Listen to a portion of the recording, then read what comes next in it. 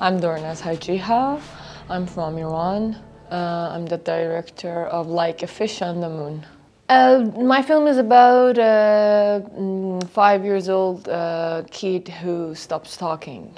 And if I want to say the concept for me is about normality.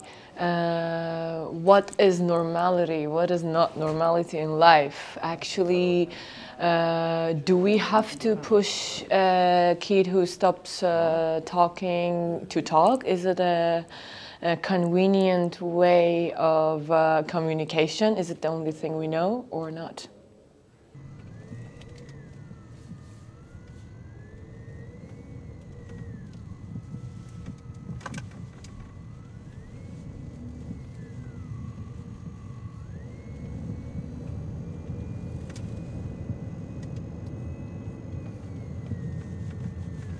I work with my actors, the two of them, uh, Sepidar Tari and uh, Shakiba, uh, on my short, Marzia. And then uh, this was our second collaboration. We actually worked like a very close team.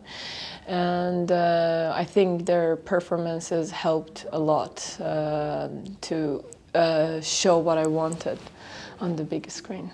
I think cinema is a teamwork, and um, without my team, uh, I would not say any name because uh, would be complicated. But especially with some members of my team, I would not be able to make this film. So I would thank uh, all of them.